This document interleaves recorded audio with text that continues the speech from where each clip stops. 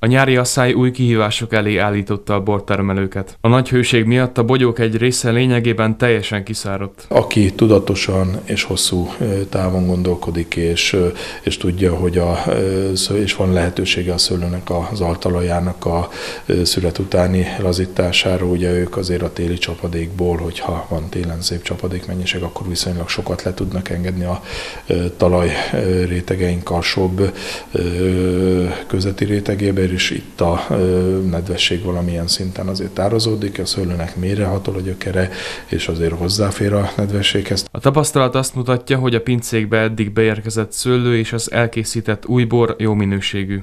Kétségtelen, hogy, hogy sokkal korábban el kellett kezdeni a munkákat, és, és oda kellett nagyon figyelni, tehát hogy azért nem árt, hogyha az ember méreti a paramétereket, pH-t, savat, mustfokot, és akkor egy kicsit tudatosabban kell borászkodni.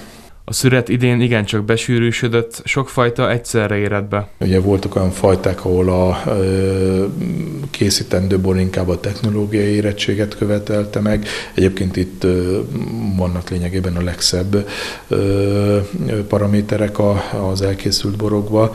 A, és ugye kicsit egymáshoz is közelebb tolódtak ezeknek a fajtáknak a szüreti időpontjai, tehát egész egyszerűen a, a szőlő így tudta ezt a szárazságot lereagálni, mert ugye nyilván a növénynek az elsődleges funkciója a túlélése.